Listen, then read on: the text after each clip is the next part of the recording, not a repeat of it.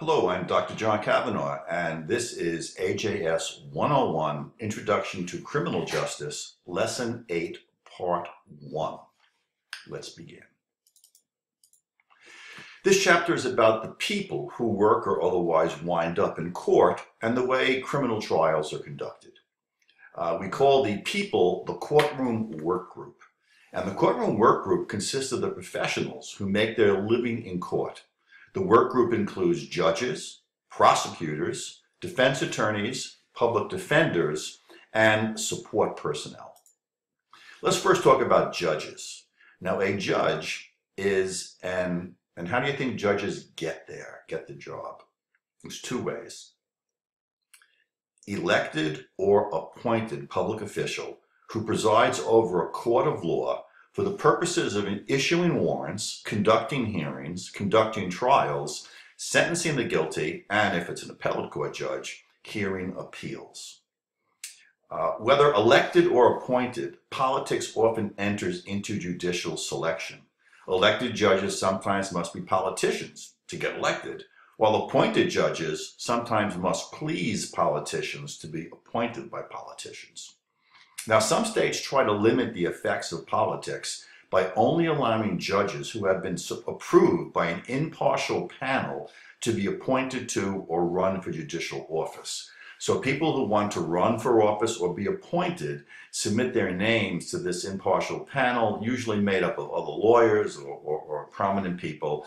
And the panel looks at, the at this person's background, education, uh, work history, and gives an approved or disapproved rating to them. And if they're not approved, then they can't be appointed. Or if they run for election, the voters might see that they had a low score by this scoring entity. Um, in the past, anyone could be a judge. And going back to the start of this country, to the you know to the days of the Wild West, there weren't that many college-educated people, much less lawyers. So almost anyone could be a judge in those days. But today, at least above the limited jurisdiction level, almost all judges must be lawyers and also members of their state bar association. And in addition, the states also give new judges special training courses. Now, you're a lawyer if you graduate from law school, but not all lawyers who graduate from law school can go before a court and practice. In order to go before a court and practice, you have to pass a very vigorous exam, administered, administered usually by the State Bar Association, which is the lawyers group, uh, which proves that you are sufficiently uh, knowledgeable of the law where you can go into court and represent people. That's called the bar exam. So you have to pass it in order to be admitted to the bar to, to actually practice in court. If you're still a lawyer and you don't pass it, you can work in an office, you can do wills and estates and things like that, but you can't go into a courtroom until you pass the bar exam. Now, judges can be impeached, and impeach means removed from office, uh, for misconduct on or off the job, maybe getting arrested or something, or for incompetence. Uh, if the judge proves to not know the law properly, uh, they can be removed.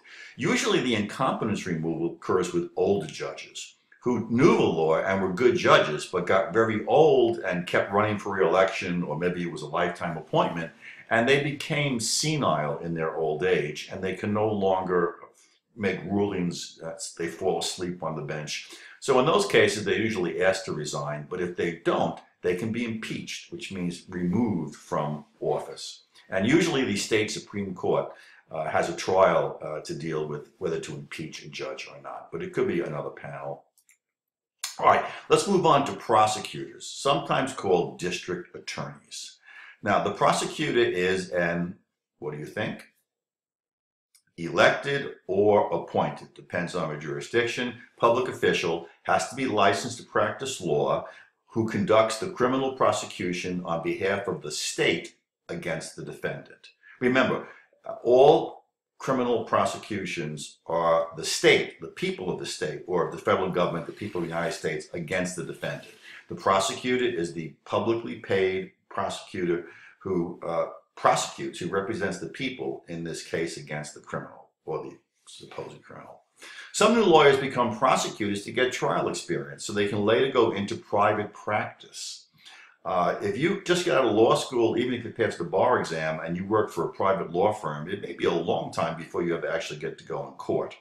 You become a prosecutor, you become a lawyer, pass the bar exam, and get hired as a prosecutor, you'll be doing trial cases uh, almost from the from the get go.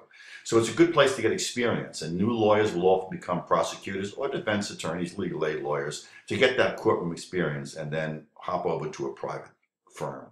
But some new lawyers become prosecutors as a stepping stone to elected office. Uh, if you're a prosecutor and you're lucky enough to prosecute a really high profile case like, like John Gotti, the, the mobster, uh, and you win, uh, your name becomes a household word. And in politics, if your name is a household word, it's easy to get elected. Rudolph Giuliani was the, pros- the federal prosecutor who successfully prosecuted the mafia, mafia uh, kingpin John Gotti. He got so much positive publicity that he was able to run for mayor of New York City and win. So, as you can see, it's a great stepping stone because in politics, name recognition is a lot. And that's why there's always campaign signs on the roads. Now, cases involving government officials or other special cases will sometimes result in the appointment of a special prosecutor to handle the matter. And special prosecutors are usually selected for their impartiality uh, and or their uh, knowledge in the specific area. Uh, in fact, uh, we, we just had uh, a special prosecutor, Mueller, investigating uh, President Trump for so-called possible uh, collusion with the Russians to win the election, which he was exonerated uh, by the special prosecutor over. Uh, going back before that, uh, you had uh, a special prosecutor, a guy named Kenneth Starr, who did a special prosecution against President Clinton many years ago. So these are special prosecutors. They're usually not full-time prosecutors. They may have been, but anyways, expertise and hopefully impartiality. Most counties and cities have prosecutors' departments which employ many assistant prosecutors to help the prosecutor. And in big in big cities with big or counties with large prosecutorial offices, you have specialty units. So there might be a sex crimes unit where the prosecutors just handle sex crimes cases. There could be a drug unit. Uh, so larger organizations, be they police or prosecutor's office, uh, have many more jobs and they often have specialty units, which makes the jobs a lot more interesting and uh, more, more choice of jobs and mobility. The prosecutors also give advice to local police departments on enforcing the law. Usually the prosecutor, uh, if the police want to know a question about, you know, can we search this person? Do we need a warrant? What does this new court decision ruling mean? They will often go to the local prosecutor who will advise them or even give them memos to keep them abreast. Uh, but very large police departments hire their own in-house attorneys. Prosecutors exercise great discretion uh, in the criminal justice system. Uh, and that discretion is uh, that discretion concerns uh, who they uh, prosecute, who they charge, um, or indict. What do they charge them with? you know, nobody can force a prosecutor to prosecute or go to a grand jury. So if the prosecutor says no, there's no case. Um, what charge? what to charge them with is another important thing in, in many cases, the prosecutor can make a choice between a misdemeanor or a felony. Uh, in the case of larceny, the difference between misdemeanor and felony uh, has to do with the uh, value of the property in many cases. $1,500 uh, or more is a felony, less than a misdemeanor.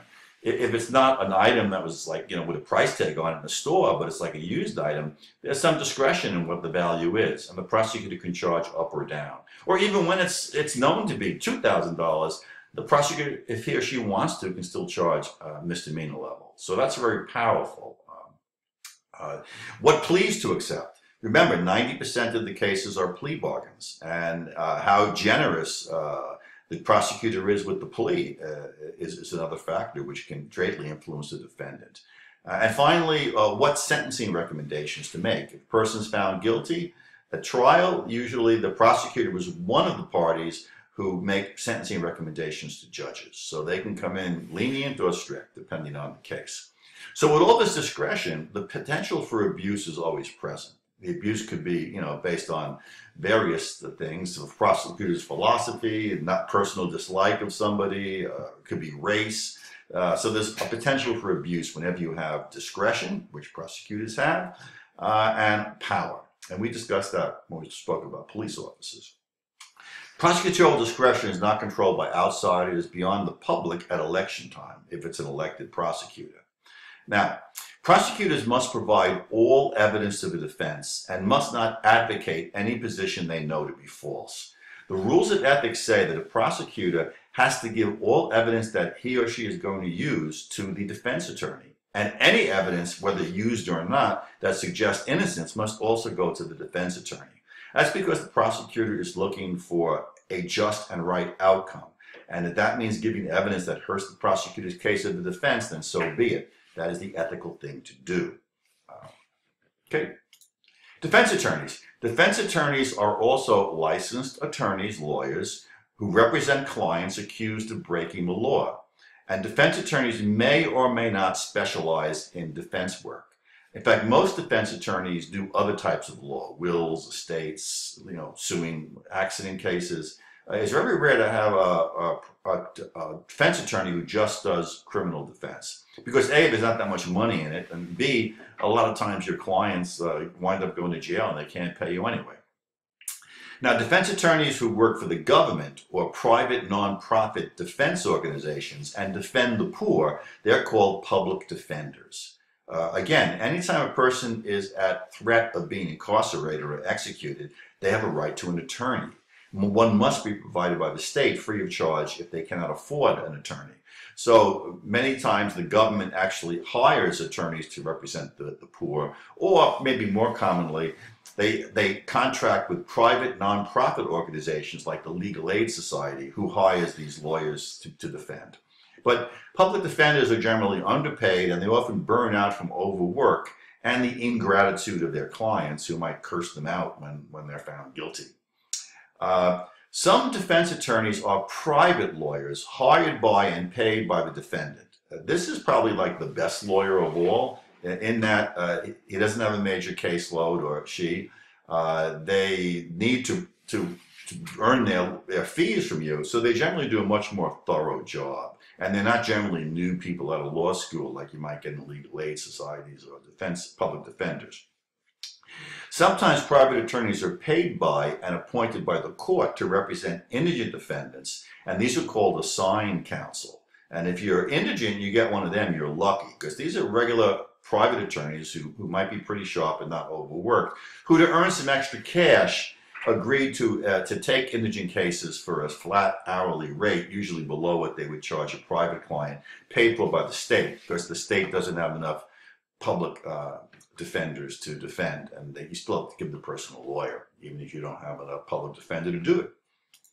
All right, defense attorneys represent the accused at all stages in the process. Uh, if you're being going to be questioned by the police, uh, you can have an attorney and, and talk to them uh, and request that he or she be present during the initial interrogation. Uh, the defense attorney ensures that the defendant's rights are not violated all the constitutional rights, mostly in the Bill of Rights, against unlawful search and seizure, uh, these rights, not to incriminate yourself. These are the rights that a defense attorney is going to protect his, his or her client uh, for. Uh, they also will um, counsel the defendant. Uh, the defendant needs advice on, on to plead guilty, to plead not guilty. Should I go to this hearing? Should I take this plea? You know, can I speak? Should I say this? Should I tell this? So uh, they're called counsels lawyers because they counsel the defendant, and the defense attorney, of course, would do this. They also plan and prepare the defense. Uh, if the person is not going to accept the plea, then they have to go to trial. And you have to have a well scripted and well planned and researched defense uh, if you have any hope of being found not guilty. Uh, in the case where the defendant is guilty, uh, they are going to negotiate plea bargains uh, with the prosecution. In fact, some defense lawyers are just great negotiators, and people who are guilty hire them because they're known for their expertise in plea bargaining. And they also represent the guilty client at sentencing. If the trial concludes with a guilty verdict, then the defense attorney will argue for a less severe sentence at the sentencing hearing. Uh, at the end of the trial. Okay, all persons accused of capital crimes, which is where you could be executed, uh, felonies, or any charge where incarceration is possible have a right to be represented by a lawyer. And the indigent, the poor, have a right to a free court appointed lawyer if they cannot afford their own private lawyer. That's a U.S. Supreme Court ruling. Defense attorneys must provide their clients with a vigorous defense, but they cannot knowingly allow false evidence to be admitted. So you can vigorously defend your client, but if your client says, "Hey, I, you know, I did it, but if you call my friend Joe, he'll testify that I was somewhere else. He'll lie for me." Well, that defense attorney can't allow that lie to go into court. No attorney can allow false evidence to be admitted into court. That's an ethical violation. It's also a criminal act. They can go to jail. They can lose their law license. Uh, so they can't do that. So consequently, if a defense attorney's client is guilty, all they can do is what? So if you have a guilty defendant and they want to go to trial, you can't argue innocence because you know they're not innocent and that would be unethical. So all you can do is attack the prosecution's case in an attempt to create confusion in the minds of a jury. And that confusion will become reasonable doubt. Uh, however, defense attorneys do not have to reveal evidence prejudicial to their client. Remember, the prosecution has to give all evidence that uh, that, that is pertinent to the case, especially that suggests the defendant is innocent to the defense attorney. But the defense attorney does not have to reveal any evidence prejudicial to the client. The only evidence the defense attorney has to give to the prosecutor is evidence that he or she will use in court. And that's important because the prosecutor has to know in advance so they can research and, and see if the evidence is phony or not. Uh, so again, if it's a guilty client, all the defense attorney is going to do is attack the prosecution's case, attack the credibility of their witnesses, try to confuse the jury in an attempt to, to make this confusion become reasonable doubt and result in a not guilty verdict. Okay, so that's the end of lesson eight, part one. And uh, after uh, you go over these notes, let's move on to lesson eight, part two. I will see you there.